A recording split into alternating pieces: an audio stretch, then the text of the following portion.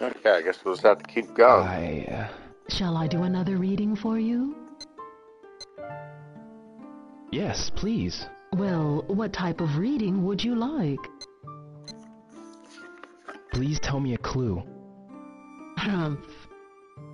Mm-hmm. I see nothing that I didn't see before.